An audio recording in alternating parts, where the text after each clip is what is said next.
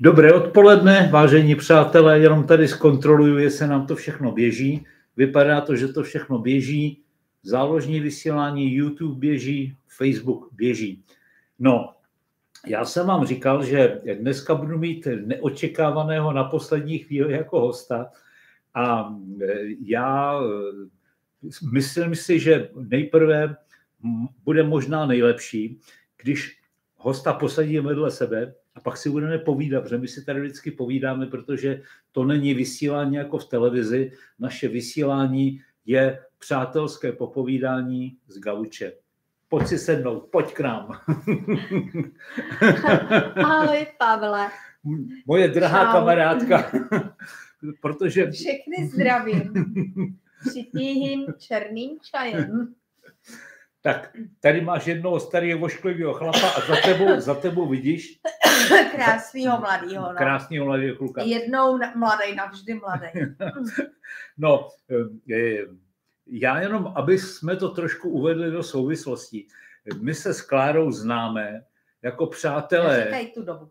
Neříkej tu dobu. No my se známe, ale už jako od po převratu z té doby už jako. No, my se známe asi od 91. roku. Tak, ano, přesně. Prosím protože to je... My jsme se setkávali... Neříkej, jak je to dlouho. Ne, ne, my jsme, my jsme se setkávali v parlamentu, no. když jsme, já jsem dělala parlamentního zpravodaje pro Česko, česk, český, československý rozhlas tehdy a ty jsi tam dělala co v tom parlamentu? No, já jsem byla poslankyně federální. A jo, takhle vidíš to. 90 ano. až 92 jsem strašila ve věži.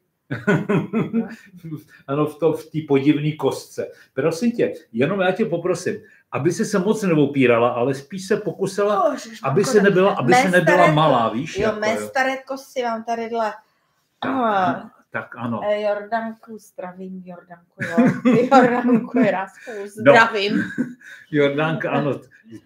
Jordanku neznám osobně, ale to musí být velmi, velmi excentrická osoba. Ne, to je úžasná dáma. Jo? Hmm.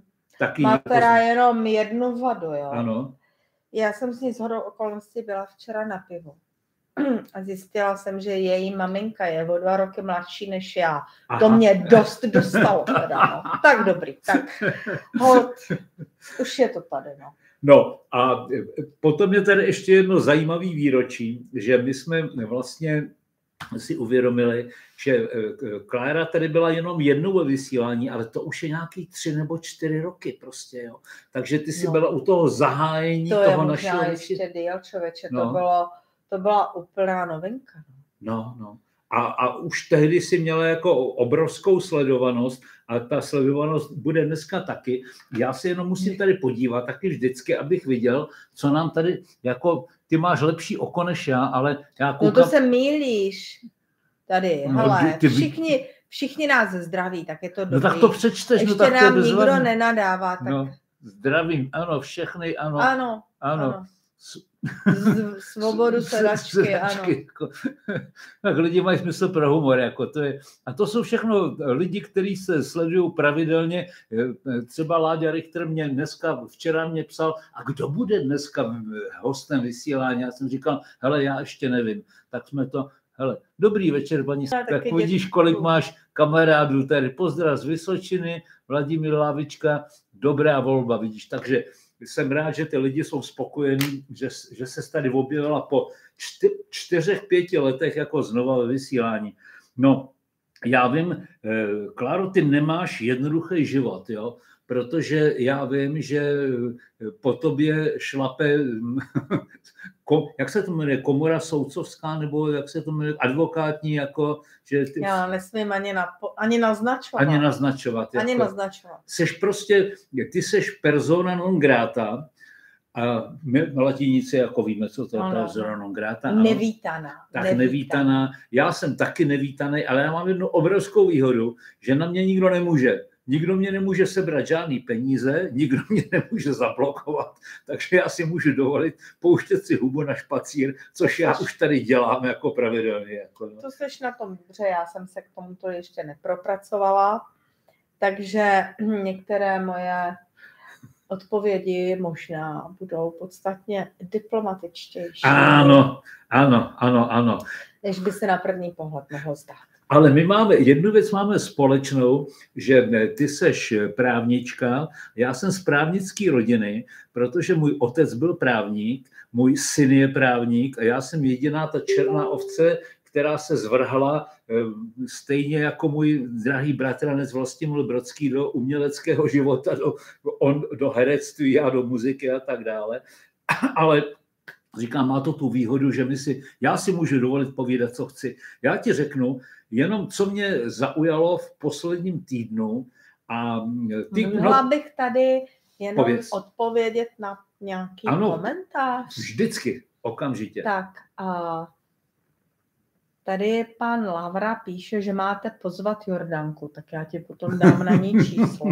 Tak já ji brnknu. tak uh, to můžeme zařídit. Jo. A vy jste kamarádky. My jsme, kama- no, no, no. My jsme kamarádky.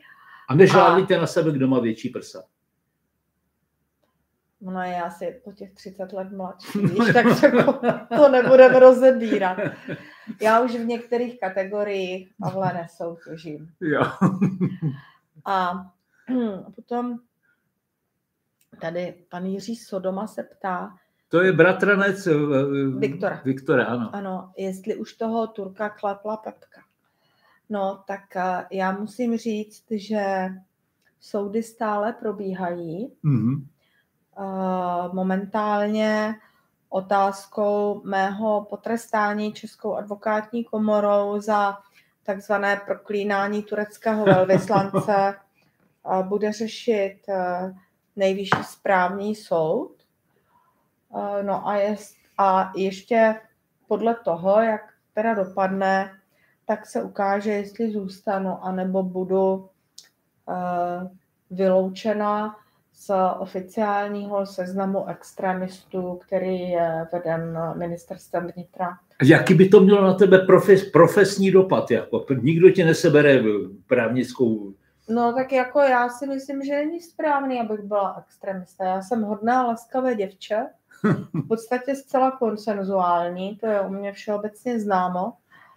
Uh, a myslím si, že extremismus vypadá prostě hodně jinak než já. To já si myslím taky. A že by se možná jako páni ministři vnitra, ten, který mi tento titul udělil a který eh, a ten druhý, který v něm stále se trvává, jako hmm. divili, kdyby jim Bakunin s Kropotkinem, nebo jako skuteční extrémisti eh, prostě zabušili na vrata. No. Takže zatím jako já to vnímám tak, že si ministerstvo vnitra tak trošku hraje, kdo koho jmenuje a koho nejmenuje extrémistou a koho jako potrestá, koho nepotrestá. No tak jako mm, samozřejmě to není ani návod, ani souhlas, ani nic podobného, ale prostě těch lidí, kterým může buď rupnout v bedně, anebo kteří prostě mohou mít eh, jiný ideologický názor do takové míry, že prostě ho nějakým způsobem zhomotní, hmm.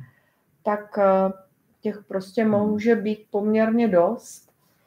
A já si myslím, že národ je skutečně potřeba vést ke koncenzu a ne vyvěšovat na budovu ministerstva vnitra um, fotografie umrlčích pytlů a, a to ať je jejich obsah jako jakýkoliv. No.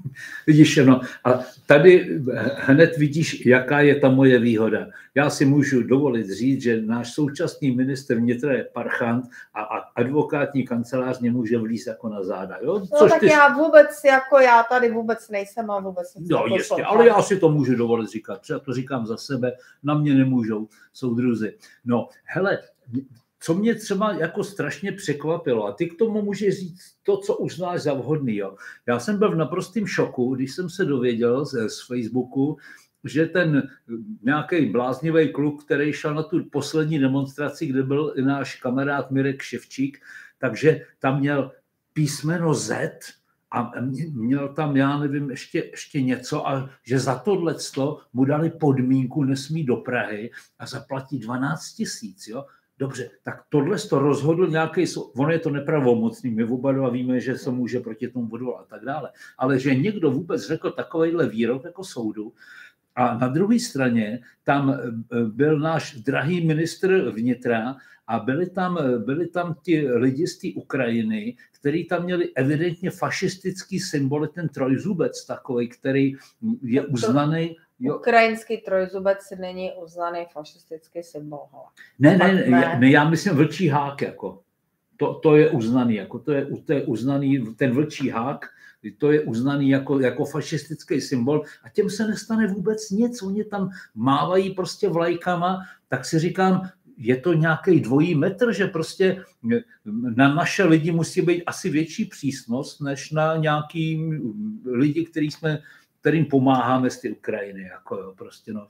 Ty k tomu asi nebudeš chtít nic asi říct. No, já k tomu bych řekla jenom jednu věc. Mm-mm. Um, právo prochází velkou ideologizací a vlastně se dostává do situace, kde na určité úrovni uh, se vychází z politických, respektive ideologických axiomů. A samozřejmě jestliže tady máme nějaký politický záměr, tak se to prostě mm, promítne do těch, eh, do těch rozsudků. Právo ovšem by mělo platit pro všechny stejně. A je tady, víš, jako jedna věc, která mě k tomu jako kterou bych ráda řekla, která mě k tomu trápí. Právo se dodržuje tehdy, jestliže existuje společenský konsenzus, že se dodržovat má. To, že právo je vynutitelné a že se vynucuje, je sice pravda, ale prostě v momentě, kdyby se všichni nebo velká část společnosti na dodržování určitých zákonů prostě vykašlala. Tak není Boha, aby státní moc je to, nepřeválcuje. to prostě nějakým způsobem ustála. Hmm. Eh, policajt prostě nemůže stát u každého přechodu, eh, nemůže být na každé ulici v každou chvíli. To prostě není fyzicky možné. Hmm. Eh, ani za pomocí kamer a podobných technických vymožeností. Takže vždycky ten stát by měl se s těmi občany svými jako domluvit, co je a co není právo a co ti občané jsou ochotni a nejsou ochotni dobrovolně dodržovat. Potom samozřejmě je vždycky nějaká skupina občanů, která brble, a potom je vždycky malá, velmi malá skupina občanů, která prostě ty zákony nebo některé zákony není ochotná dodržovat. Ale ten základ, a když mluvím o základu, tak mám na mysli třeba 95% lidí, tak ti musí chtít ty zákony dodržovat dobrovolně. A to tady tak jako eroduje. To se, to tak, to se tak jako rozpadá tady tenhle, tahle ta společenská smlouva o tom, co je a co není zákon a co se má a co se nemá a, dodržovat. A víš, ono se to může taky překlopit a převrátit. A, a to jsou dějiny. No, to jsou sice děj, to jsou dějiny, ale uh, prostě to může mít strašný následky, ten, ten, ten, ten převrat, protože ta nenávist ti zase splodí jenom tu nenávist. Tak Jinak se... ještě, abych se hmm. konkrétně vrátila k tomu tvému příkladu. Já si prostě myslím, že tyhle ty symboly ani jedny, ani druhý nemají být na veřejnosti povolené, nemají se prezentovat. A, a, mají a cizí být, vlajka na Národní být, muzeu nemá a co mají dělat. být, A mají být prostě a, trestány. To je hmm. jako můj názor. Co se týče vlajky na Národním muzeu, tak Národní muzeu bylo postaveno z peněz českého národa a to, kde ta vlajka je umístěná na tom nejčestnějším místě, bez český vlajky? Vlastně je porušením heraldických, uh, heraldického protokolu. Hmm. Uh, já chápu, že ta ukrajinská vlajka představuje podporu Ukrajině. Uh, je rozhodnutí vlády a parlamentu, že se vydali tady touto cestou, uh, že přijali za svou tuto ideologii. A z toho jejich mocenského postavení vyplývá i jejich možnost to prezentovat tady takovýmto způsobem. A není to Ale, proti zákonu, není to proti zákonu, uh, jako není na to nějaký předpis, který... Prosím tě, jsou na to heraldická pravidla. Já bych to řekla takhle. Je to hulvácké. Hmm. Jo, je to hulvácké. A mm, ty to nepamatuješ, já taky ne, ale na tom, na tom Národním muzeu vysely, já se pamatuju na ty fotky, kdy tam vysely dvě vlajky s hákovým křížem.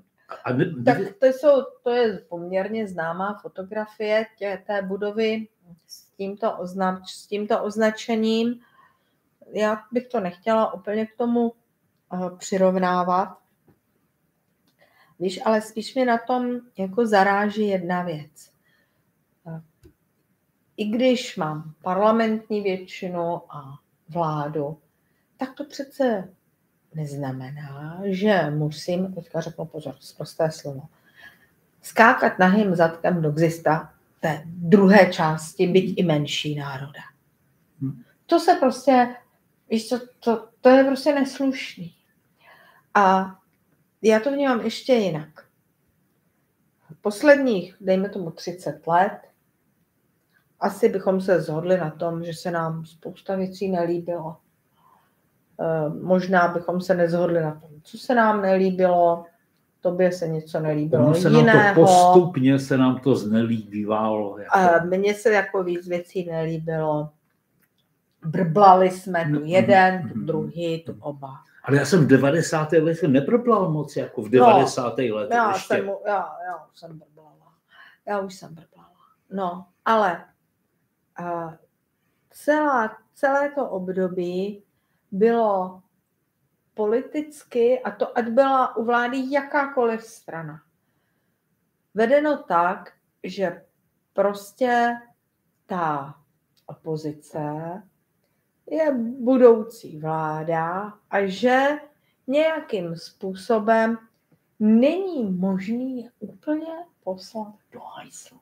Je to nerozumný. Jo, a vždycky celých těch 30 let se jakýmsi způsobem pracovalo na tom, aby byly integrovány názory menšiny v maximálně možné míře do té, dejme tomu, oficiální vládní politiky. Jo? Někdy se nám to nelíbilo, přiznejme si to. Jo? Někdy se nám to líbilo, někdy se nám to nelíbilo, ale, ale menšina byla respektována. Ale prostě tímto způsobem socialistické i sociálně demokratické i pravicové vlády nějakým způsobem se snažili ty menšinové názory a menšinové zájmy prostě integrovat do své vlastní politiky.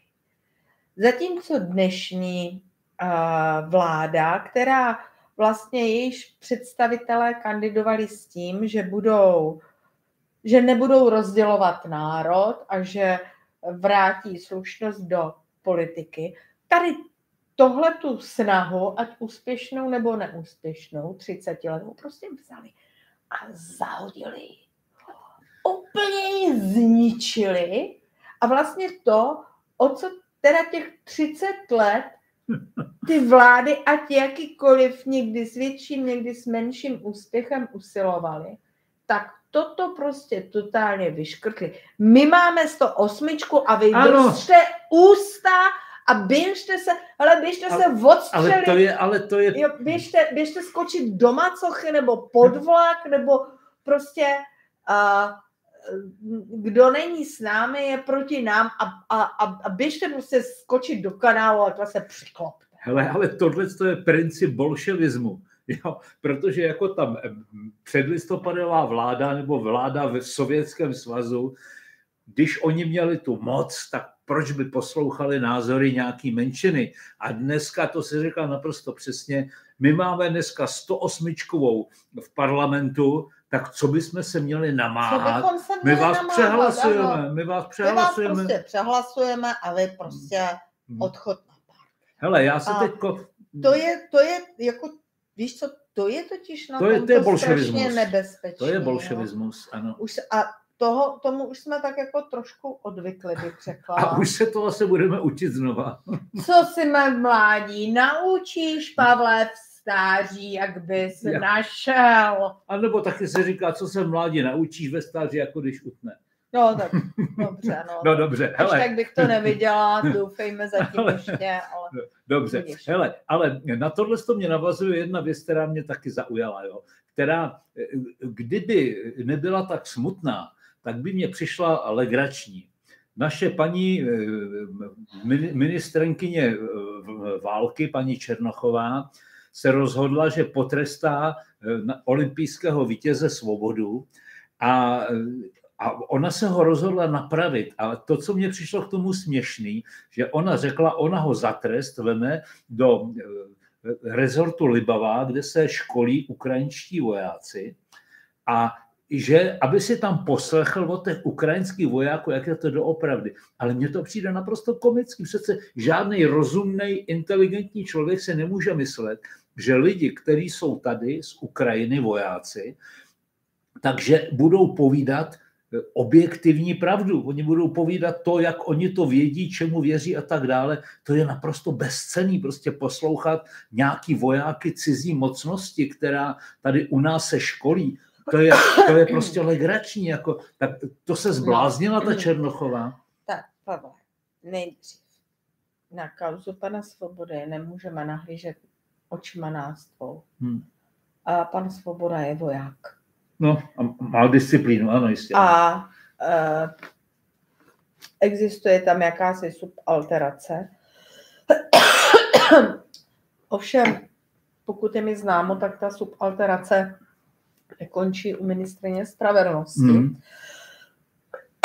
ale, u, ale u jeho velitele. Jasně, ano. A já jsem se nikdy nezvěděla, pardon, kdo je, nebo byl jeho Nadřízeným, velitelem, jasně. kdo je jeho velitelem Hm. A a jak, jaký je jeho postoj k této věci. hm. A nejsem, nejsem nedomnívám Zapí, se, zapí to, jako, to by zaskočilo Hmm. něco do koláčové dírky. Jako. hm, nedomnívám se, že paní ministrině, spra, eh, ministrině vnitra, eh, pardon, Že má ministrině že má- ob, obrany, Obrany, že má do toho co žvanit. Jako. že má vůbec jako oprávnění velet armádě a velet jemu. To je, ano, to je A pravda. To je prostě, kdyby se k tomu vyjádřil velitel generálního štábu. No tak bych taky řekla, že je to jak chodit s kanónem na slony, Mm. střílet mravence, Hm. ale budiš, byla, tam, byla by tam jakási logická subalterace. Eh, Tak to v podstatě se dostáváme do situace, kdy se paní Černochová tváří, jako kdyby ona byla generál, eh, generálem generálního štábu. Ano, velitelem České, České armády. Velitelem České armády. Hm. A tak tomu prostě není. Ale, ale je to, je to, je to, je to, je to bláznivá, šílená osoba, jako je to Ale zbytečný víš se co, o ní Pavle, jako nedělej to. Neříkej o nikom, i kdo je jako třeba na druhé straně břehu, že je šílenec. Ona k tomu má svoje důvody a ty důvody my se musíme snažit pochopit. A My je samozřejmě s nimi nemusíme souhlasit, A my je známe v podstatě. ale nemůžeš říct jenom to, že je magor. To prostě není pravda. No tak z, z mýho hlediska normálního rozumu jako magorie, ale já se to můžu dovolit. Dobře, ale já jenom pokročím dále. To znamená, tady, tady ten vtip je v tom, že jak, jak si říkám, ta česká televize, víš, jako já, když se koukám na tu českou televizi a já ji sleduju pořád českou televizi z prostého důvodu, protože já vždycky, já vždycky, já vždycky říkám, že, že je dobré vědět, co nepřítel říká, jo? takže já si pustím tady paní Friedrichovou a ta paní Friedrichová v tom svém pořadu říká, že na, že na budovu Národního divadla stříleli Rusáci. Ale co to je za nesmysl? Tam stříleli... Jsi muzea. No, muzea, jasně. Ale tam nestříleli Rusáci, tam stříleli vojska eh, pěti armád eh, a bylo tam mnoho pod, Ukrajinců, jako jo. a byli to sovětský. No, to, tak, takhle. Zase. Tak jako dochází k ideologizaci práva, hmm. tak dochází k ideologizaci historie což je v podstatě jeden z největších hříchů každého historika, že hodnotí ty minulé události jednak retroaktivně, to znamená z pohledu té své současnosti, a jednak eh, z pohledu ideologie té doby, ve které hodnotí. A to není správný, protože to automaticky nemůže být objektivní. Takže byla to vojska Varšavské smlouvy, kde jasný prim a velitelské funkce zastávala, zastávalo vedení sovětské armády. A to je prostě potřeba rozlišovat. Je potřeba rozlišovat národ a národnost a je potřeba rozlišovat režim. Tak ano. K tomu ještě dodám, největšími a nejvíc obětí komunistické zvůle byli rusové. Mm-hmm. To je prostě fakt. Stejně tak je nutno říci, že Sovětský svaz byl ideologická mocnost.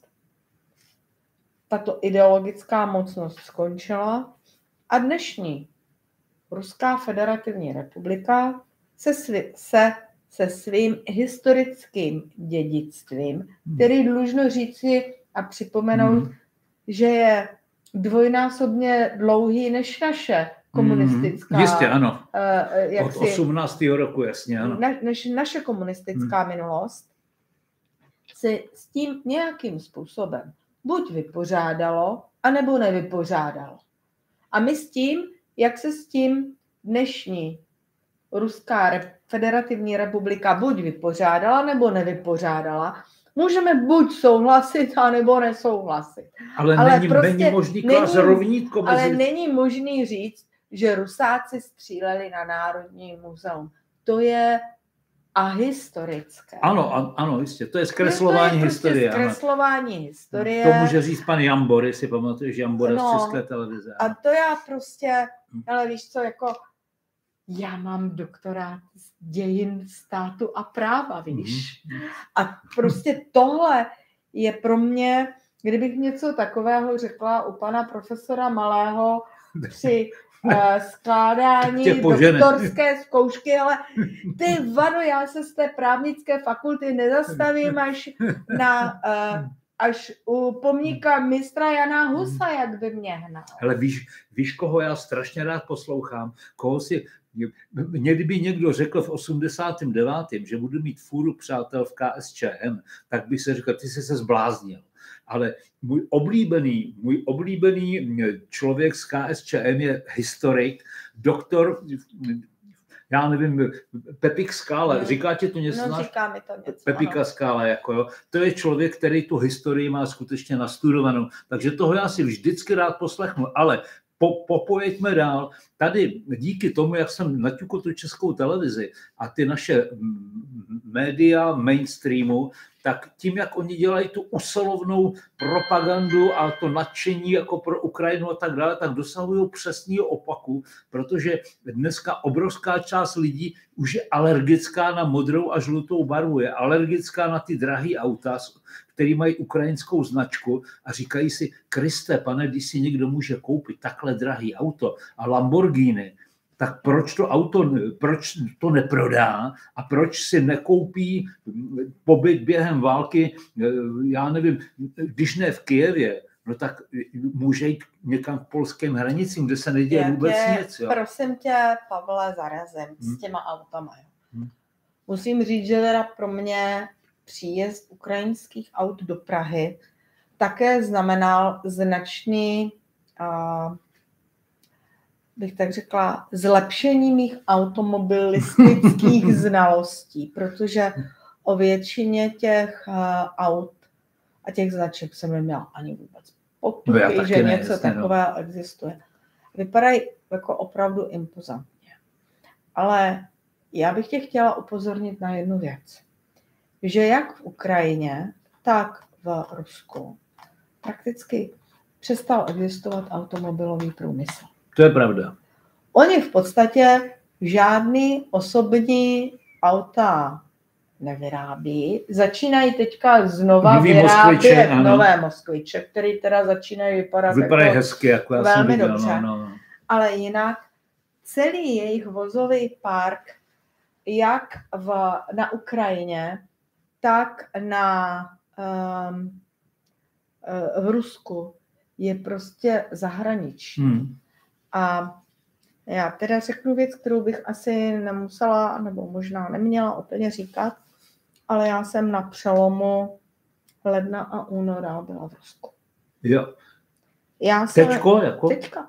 Jak se tam dostala, pro Bůh, jako já bych se tam rád podíval do Petrohradu, ale nevím no, jak, jako. Vidíš. Tak, já jsem eh, byla ve Volgogradu. Jo. Kde jsem se účastnila oslav 80. výročí Eh, bitvy o Stalingrad hmm. po vítězství. A uh, jeden z, ze zásadních důvodů, pro které jsem tam jela, je, že jsem prostě chtěla vidět na vlastní oči, jak to tam vypadá. Hmm. A uh, prostě se mi tahle ta příležitost jak si naskytla. To mě povíš na konci vysílání, a, to mě zajímá. Uh, byla jsem překvapená, hmm vozovým parkem, hmm. který hmm. v tom Volgogradě jsem viděla, hmm. protože vedle toho tady my všichni jsme chudáci. Jsme úplně poslední jako zoufalci. Hmm. A musím ještě říct jednu věc. Volgograd není žádný výstavní město. To si taky myslím. A mě, když tam, jako, když jsem tam jela, tak mi ti známí, se kterými jsem tam jela, mi říkali, hele, a Volgograd, to je takový chomutov, víš. No jistě, to si dovedu představit. Protože to bylo opravdu úplně totálně zničené město mm, a mm, totálně mm. znova vys, jako, e, vystavěný a ještě těsně po té válce mm. jaksi velmi bez ladu a skladu. Mm. A, takže to skutečně jako nejsou žádné výkladní skříně Ruska. A prostě stejně, co se týče těch automobilů, tak to tam jsem si prostě uvědomila, že ten náš názor jako není úplně správně postavený. Ten problém s ukrajinskými auty je jinde. A to v tom, že vlastně oni už rok mohou parkovat naprosto kdekoliv, a zatímco um, vlastně domorodci hmm, si platí modré zóny, hmm. tak uh, ukrajinská auta, když prostě se zaparkujou na měsíc na Václaváku, tak... Žádný nic, policajt nemá odvahu si nic, nic udělat. Ano, to já vím, no. Už si dovedu představit, jak se uh, kontrolují techničáky, hmm. nebo vůbec držitelská oprávnění k těm autům. A oni nevědí, kde by toho majitele našli ani jako. A to je prostě věc, která dělá strašně zlou krev a zbytečně. Hmm. Protože já chápu, že jestliže utíkáš před válkou, hmm. tak zaprvé tam nenecháš to největší svoje luxusní auto, ale prostě nasypeš všechny krámy do toho hmm. auta a zdrháš v něm. To je jako je jedna věc. Ale tady to musí dostat nějaký řád, řád a smysl, jak praví klasik. Hmm. A to je to, co se prostě neděje. Hmm. Evidentně ano. se už dnes, dneska už je evidentní, že se jedná o dlouhodobou, možná mnohaletou záležitost. Hmm. A není možný to prostě tady tímto způsobem hmm. nechat. Nejenom kvůli nám, ale i kvůli těm Ukrajincům. Když se ta Ukrajina vylidní, ale hele, to je, hele, to by bylo téma jako úplně sam, aby jsme se nezasekli u těch aut, jo, ale, ale tady jsou, já jsem postřehl takovou jednu věc, že jak ty určitě víš, tak velikými podporovateli Ukrajiny jsou Poláci. Jo? No, to, to jsem postřehla. To si postřehla, jistě. A už tady se objevil jeden naprosto nový problém a ten problém je vývoz ukrajinského obilí, protože to, ten vývoz ty ukrajinského obilí byl směrovaný na, speciálně na Afriku. A najednou se ukázalo, že ty Ukrajinci vyvážejí to svoje obilí do Polska, do Maďarska, do Česka a já tě zarazím. Se, se, se bouře jako Prosím ty lidi. Tě, já, já a ještě tě, je jedovatý to obilí. Ale jako. já, tě, já tě zarazím. Jo. Tohle to je téma, na který já si s tebou nemůžu povídat. Hmm. Protože fakt o ukrajinském obilí, když dovolíš, hmm. nevím, ale Lauter vůbec nic. Ale, ale Prosím víš... tě, uh, vím to, co se píše v médiích. Hmm. To není pro mě hmm. dostatečný zdroj informací, abych se k tomu mohla ne. jakýmkoliv způsobem vyjádřit. Když dovolíš, tak já tu otázku trošku transformuju. Jo? Hmm. A dnešní Donbass a, a vlastně ta, ta oblast, o, který, o kterou se bojuje, to byla plus minus autobus takzvaná divoká pole. Tomu se říkalo divoká pole. Mm. A byl to vlastně okraj polsko-litevského velkokníže. Jasně, ano. To bylo a, historicky někde jinde, ano.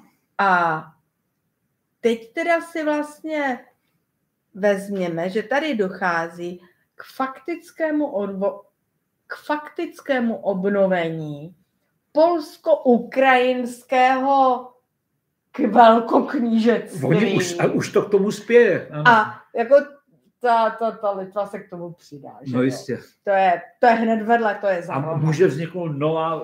A, a může tam prostě vzniknout nové obrovské soustátí, ano, ano. sousedící teda s Ruskem, hmm. přičemž ty boje, boje Evropy neprobíhají o Paříž, Jasně. o Madrid, o Benátky, hmm. o Atény. Ty probíhají o divoká pole, jo.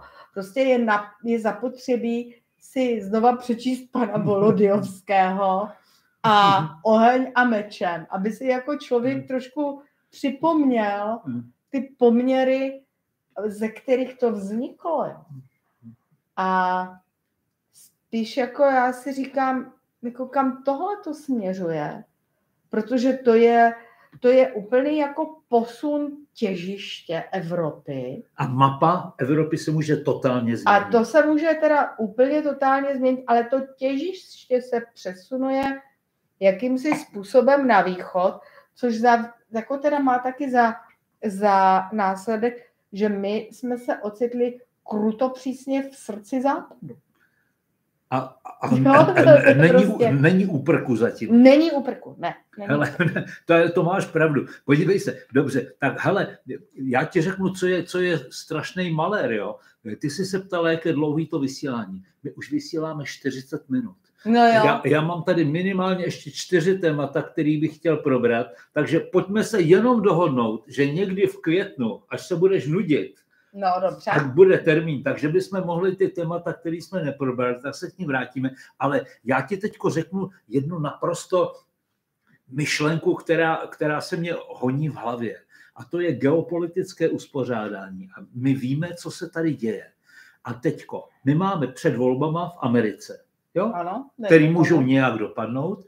Situace v Rusku je naprosto stabilizovaná, protože podpora Putina je 80%, tam není co řešit, ale teď budou volby na Slovensku, ano, čekají nás příští rok volby u nás a celá ta Evropa, celá, celý ten kontinent je ve varu. A já si nedovedu představit, co bys, jako my jsme malí, ale řekněme si, že i ta Evropská unie, to je spolek takových menších států, ale tady je Amerika, Spojené státy a tady je Rusko. A teď si představ, nebo co ty by si očekávala, protože v Rusku se nic nezmění, to víme všichni, Rusko nemůže tu válku prohrát, ale v Americe, když se dostane zpátky k veslu Trump, to může změnit situaci v celém světě. Teď je tam ještě Čína, Brazílie, Indie, teď ten svět je ve varu. Prosím tě, eh, já nepřikládám americkým volbám takovou důležitost. No, já jo, no to je, já nemusím ne. se všem souhlasit, že. Já ne, protože eh, ty nejdůležitější události se už staly a v podstatě k zásadní změně došlo v momentě, kdy se Číně podařilo zprostředkovat eh, diplomatické styky mezi Iránem a Saudskou Arábií. To je, to je důležitý, ano. Eh, to není důležitý, to je naprosto určující. Eh, obě země spolu začaly obchodovat. Co bylo dřív obě, nemožné. Jako obě to. země začaly, uh, začaly masivně obchodovat s Čínou do toho se začíná probouzet Indie a jestli se Indie domluví s Čínou, nedaj bože, ještě dohromady s Ruskem, což v podstatě k tomu jednoznačně směřuje. Protože, z Brazílií a z Jižní protože, Afrikou. Víš co, já se držím teďka ty, ty, hmm. toho azijského kontinentu, jo. protože tam na hmm. vlastně Evropa je takový nevýznamný poloostrov. No, to já říkám taky, ano.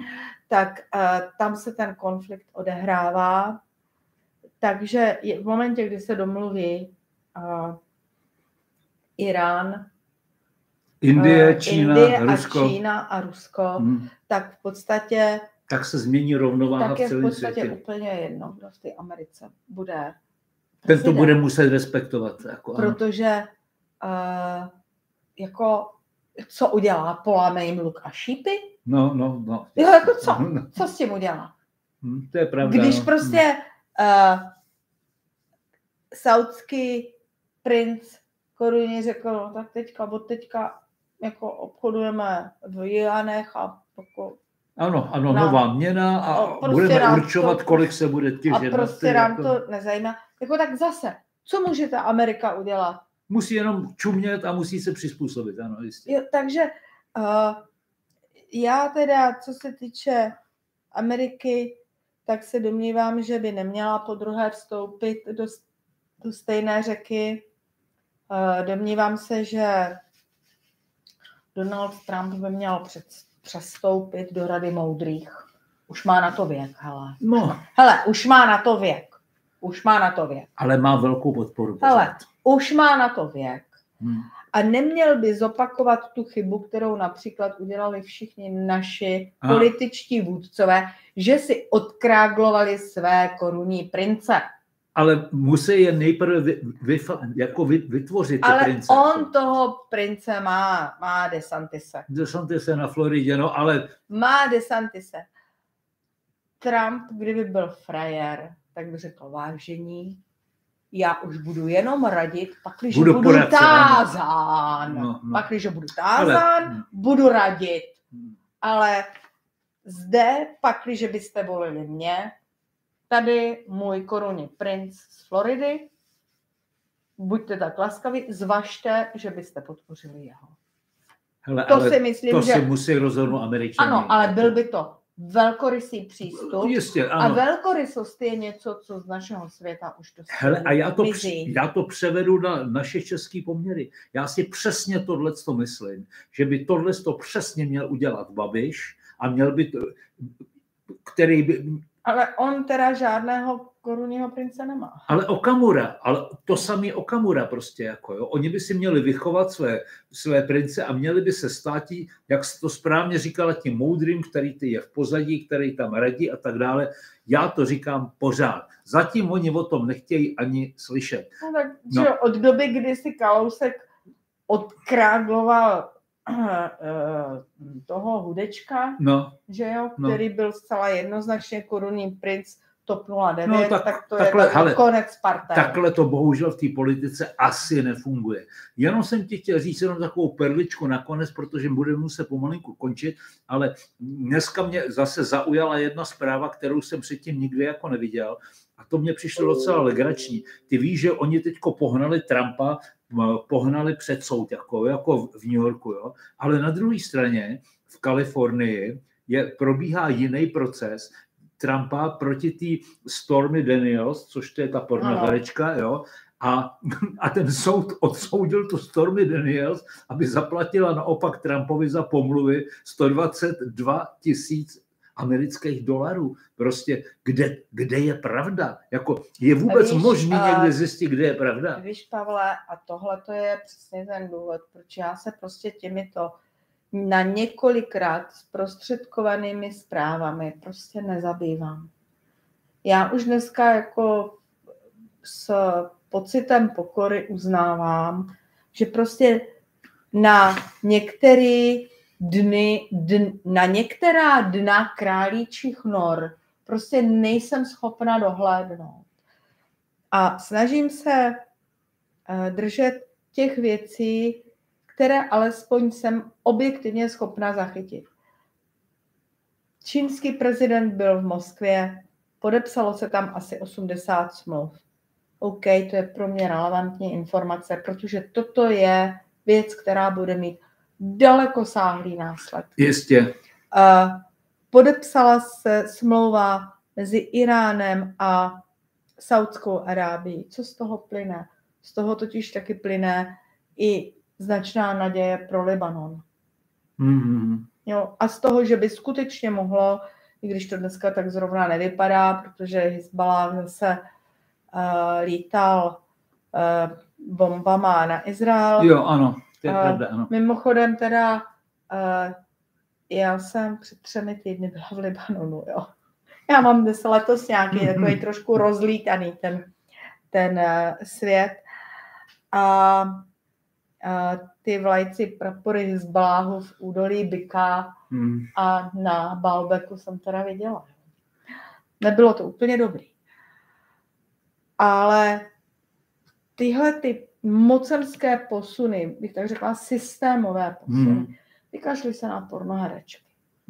Jo, ne, ne, Jo. mě to jenom zajímalo, Jo. jako, že nic, Je to- nic není černý je, a bílý, je jo? to pikantézní. jo. Ale nesoustřed se na Ne, ne, to pikantézní ne. věci, soustřed se na skutečné uh, jako zásadní geopolitické posuny. Proto to říkám jako perličku A- nakonec, že, a tyto- jo, že i na tyto- takovýhle Tyto problémy. dohody Hmm. prostě jsou zásadního charakteru a povedou k celosvětovým geopolitickým změnám. No a samozřejmě ty změny se posléze odrazí, a tím bych možná Mhm. skončila, tyto změny se posléze odrazí i u nás v České republice, tak jak se Všechno odrazí. změny uh, vztahu mezi sovětským vůdcem Gorbačovem a americkým prezidentem tehdejším Reaganem. Reaganem, jak se odrazily uh, vlastně v naší historii, jak nám Ano. vlastně přinesli My jsme listopad. malí trpajzlici a velký Tak, mocnosti. V tom tedy musím uh, souhlasit s uh, generál prezidentem Pavlem, který prostě se vyjádřil k otázce ukončení války na Ukrajině. Tuším, že to Hmm. bylo že na to jsme malí páni. No. Já z toho nemám vůbec žádné komplexy, Hm. Eh, já nepotřebuju být světový lídr, dokonce si myslím, že ani Češi jako by neměli Hmm. mít tu potřebu být světovými lídry, jako za co. Eh, Úkolem premiéra České republiky by mělo být, aby se lidem v jeho zemi žilo co nejsnesitelněji, to je můj názor, ale eh, ty změny, o kterých jsme se tady jako letmo dotkli, tak ty prostě přinesou jako přílivová vlna, eh, přinesou ty změny i k nám. Hele, Kláro, vidíš to, to má, já vždycky říkám 45 minut, tamhle vidím na hodinách Ano. 5 minut navíc, takže uzavřeme to tím, že se rozloučíme s lidma a my si ještě chvilku popovídáme po skončení vysílání a zkusíme se dohodnout, jestli bychom, protože mně se zdá, že tahle ta debata byla velice, velice zajímavá, a že se dohodneme, jestli bychom udělali nějaké pokračování třeba za měsíc. Takže pojďme zamávat lidem, aby, aby jako viděli. Nashledanou. Ano, staří přátelé se po dlouhé době zase viděli. Jako... Ano. Ahoj, a sedni si naproti a já A budu, měj se moc budu pěkně. A vypínat. mějte se i vy moc pěkně. Nashledanou.